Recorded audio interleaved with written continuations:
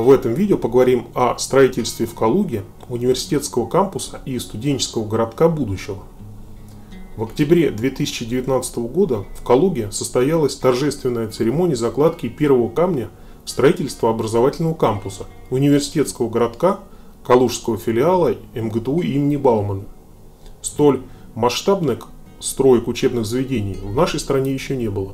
Калужский филиал Бауманки будет обслуживать интересы сразу пяти областей, в которых сосредоточены предприятия высокотехнологичной промышленности, цифровой индустрии, медицинского технологического кластера. Он разместится в правобережной части областного центра, в районе деревни Пучкова.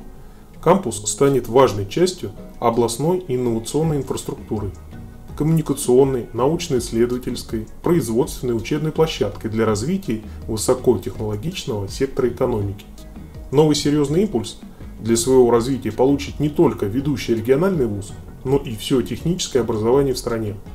В новом учебном комплексе смогут учиться более 3000 студентов и работать более тысячи преподавателей и сотрудников. С середины 20 века Калуга опирается на два больших высших учебных заведения. Это гуманитарный КГУ, основанный еще в 1948 году как педагогический институт, и филиал Бауманки, одного из главных технических вузов страны. Эти два столпа дают городу львиную долю кадров, в том числе управленческих. Однако для передового, с точки зрения социально-экономического развития региона России, этого недостаточно. Городу требовался современный и передовой вуз. И совсем скоро он его получит.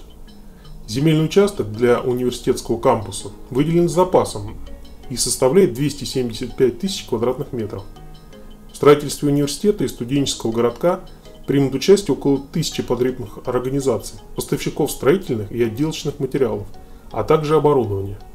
В состав университетского кампуса войдут следующие объекты.